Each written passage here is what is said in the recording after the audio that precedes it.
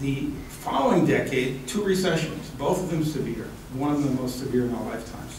The fact that we made it through that as well as we did is to the credit of everybody who worked on those budgets in that time period and to those who helped with the enactment of what became Measure 66 and 67. By the way, part of the reason we see that higher growth curve in revenue since the recession is because voters approved Measure 66 and 67.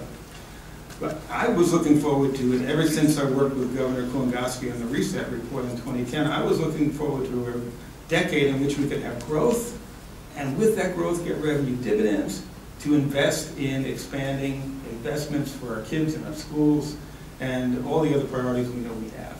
I'm not hearing anybody arguing against those priorities. So it's a matter of doing better with the growth we're getting from the economy. That means controlling costs so that in fact we do have revenue dividends to invest in doing more and more.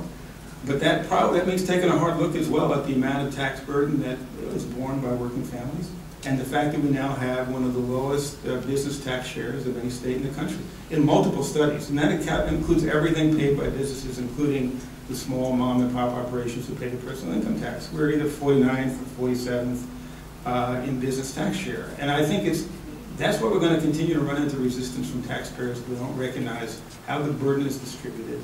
And we're not able to show that as our economy grows, we generate revenue dividends with which we can do more and better for our people.